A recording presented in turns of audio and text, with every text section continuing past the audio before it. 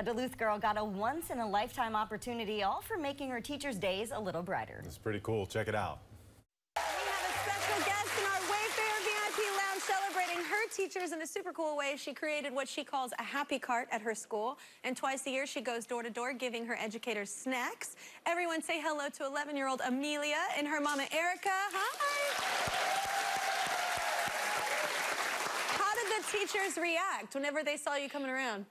They jumped up and down, they squealed, and they were like, this has made my day.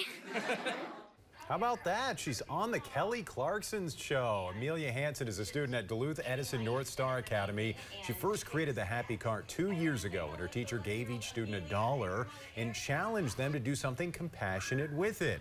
That was her on today's episode of the Kelly Clarkson Show, which Amelia's school held a watch party for this afternoon.